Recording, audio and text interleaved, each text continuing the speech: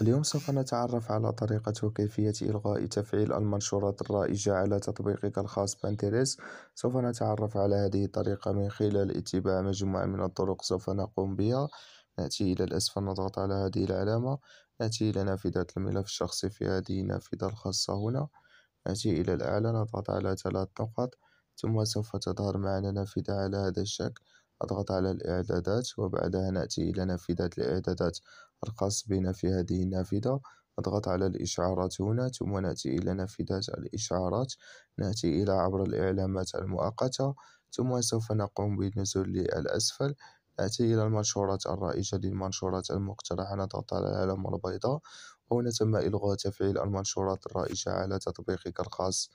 بنترست وهنا نكون قد انتهينا من هذا الفيديو. هنا نتمنى أن تكونوا قد استفدتم. لا تنسوا الاشتراك والضغط على زر لايك ونلتقي في فيديو آخر إن شاء الله.